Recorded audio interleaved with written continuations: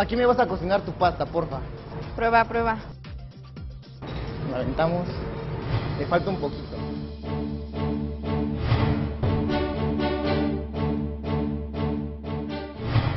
Bueno, eh, somos Pisoto Team. Eh, nuestro plato consiste en un, eh, la representación del fuego. En primera instancia está una entrada que es un aguachile de mango con un camarón y tiene aire de canela, bueno, humo de, de, de canela. Después sigue lo que es nuestro plato fuerte, que son los, intentamos representar los colores y las fases de, del fuego. Y aparte también tenemos ahumado de este lado, este ahumado es de, de romero y un agua de coco. Bueno chicos, pues yo voy a empezar. Antes que nada, felicidades a los tres. Estar ya en una semifinal yo creo que ya es un gran logro. Los vi ahora un poco más distraídos, nerviosos, tensos. Con referente al platillo, también me gustó la idea de la representación de, de los colores del fuego, pero para mí se me hace un platillo muy tosco ¿no? y muy simple. Hola muchachos, felicidades. Eh, como dijo la chef Lulu, este, no es fácil llegar a una semifinal, eh, pero como dijo también la chef, la apoyo también, es un, es un platillo burdo. Eh, para mí el aguachile mmm, no sé si es una deconstrucción, no sé si es en sí la receta de algún aguachile. En el caso del principal, buenísimo el tema de hacer la pasta, pero si hubieran hecho tal vez unos ravioles, ahora entendí también lo del fuego, pero la presentación sí coincidimos que no nos gustó tanto.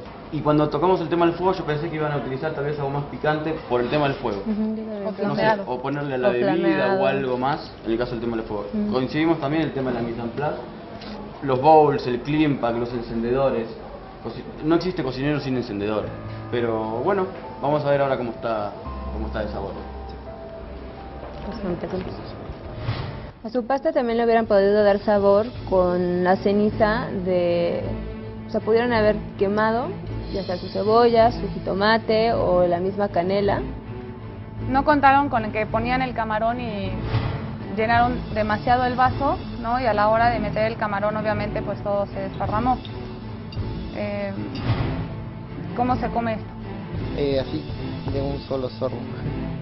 Pero esto no es demasiado para metérselo todo de golpe y más el tamaño del camarón. Digo, si me tomo esto todo de golpe me voy a ahogar, seguro. Me sabe ácido y lo primero que me llega es el olor a quemado desagradable. La pasta está insípida. El pollo, nada fuera de lo común. Sí, el agua. Para mi gusto, simple. Demasiada azúcar en el borde, muy dulce. Lo hubieran mezclado ¿No? con algo más. O sea, le hubieran puesto algún ingrediente, igual el mango si quieren o no sé. Pero es un, es un agua muy simple. ¿No Suerte, chicos. Gracias. Pues le echamos ganas y no nos fue tan, tan, tan, tan mal como nos podría haber ido. Y no se pongan tristes, vamos a ver todavía qué tal con el otro equipo. ¿Sale? Gracias.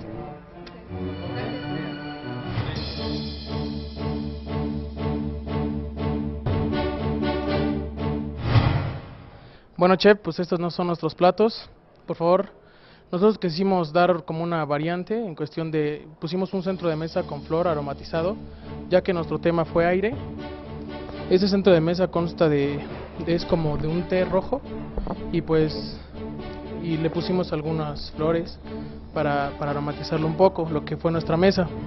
En cuestión de nuestro plato fuerte, pues buscamos la espuma, como ustedes vieron, de, de la tierra de tortilla, quemada, tatemada, nuestra costilla de cerdo y pues nuestra bebida. Espero que les guste y buen provecho. Bueno chicos, antes que nada, felicidades. Como igual que al otro equipo, ya estar en la semifinal es un gran logro.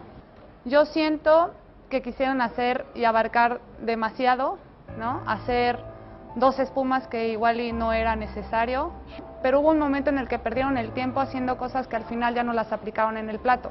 Hola muchachos, pues otra vez nos encontramos. Este, ojo, ya se los había yo comentado en el primero, ojo con sus técnicas y ojo con sus tecnicismos. Deben de llevar y ejecutar, deben estar seguros de lo que llevan y ejecutan. Si van a hacer un saballón, es un saballón. Tuvimos, bueno, ahí una, una contro- controversia ahí adentro en cuanto al término de, bueno, a la temperatura del saballón, que si pasteurizaba, que no se pasteurizaba. Es muy importante que ustedes cuando estén trabajando ya en un restaurante deben tener mucho cuidado, no solamente con un huevo, sino con un marisco, con una carne. Igual su proveedor es de excelente este, calidad, pero aquí no lo sabemos. ¿Sale? Creo que es todo. Eh, en general sus platillos bien montados, me gustaron. Em, creo que es todo. Felicidades. Muchas gracias. Bueno, ahora me toca a mí, nos vimos sin tepitos, estamos de nuevo. Lo mismo, si van a tocar el tema de un saballón, hagan un saballón. Querían poner aire, querían que eso tuviera, estuviera aireado. Si hacen un saballón, era la forma más fácil de que estuviera algo aireado. o por ejemplo, no sé, un merengue salado. Si bien es cierto que no les dio el tiempo para terminar algunas preparaciones, perdieron mucho tiempo los dos discutiendo.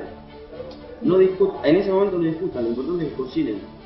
Después, acá discutimos, y si a ustedes les parece o no les parece, lo discutimos acá. Pero no pierdan tiempo ahí, porque se pasaron un minuto y fueron los 30 segundos que cada uno de los dos estuvo hablando. Pero bueno, más o menos por ahí. Ahora vamos a hacer la degustación a ver qué está hecho. Ok, chef.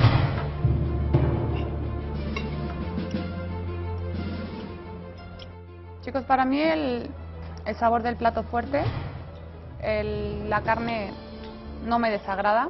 El chile, ¿por qué no lo limpiaron? Le quitaron la piel. Se queda la piel y es desagradable lo que se siente en la boca. ¿Esto es smoothie?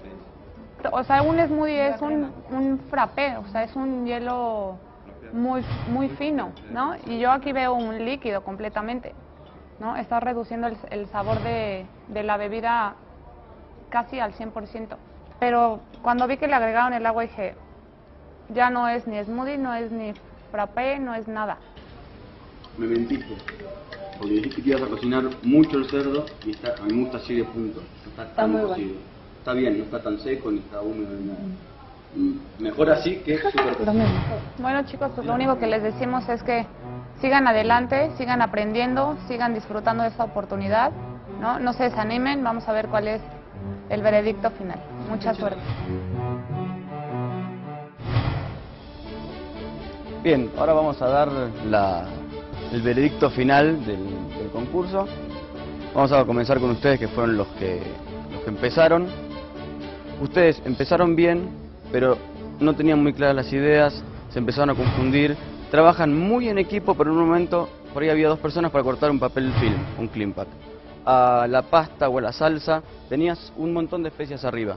Darle unos toques con alguna de las especias que había, o orégano, mejor ana o estragón, darle un plus más, agregarle un extra. El que cocina claramente cocina poquito. Uno que cocina mucho mejor sabe darle esos matices con esas hierbas y esas especias, que es lo que tienen que ustedes conseguir. Entonces, la nota final de ustedes fue un 15. Fue un 15. Y con ustedes, bueno, que fue el último grupo, trabajaron ordenados, también trabajaron limpios, al final se empezaron a, a desordenar. Si no están seguros de las técnicas que están manejando, traten de no meterse, traten de no meterse y eviten la discusión, porque en la mayoría de los casos nosotros no somos infalibles, somos humanos también, pero en la mayoría de los casos van a perder ustedes. Sí, ok, siguen y después se habla en otro momento. Bien, sí, los platos de presentación gustaron más los de ustedes que los del grupo número uno y en cuanto a sabor también. El puntaje de ustedes y por ende ganadores con 20 puntos es el molcajete, molcajete asesino.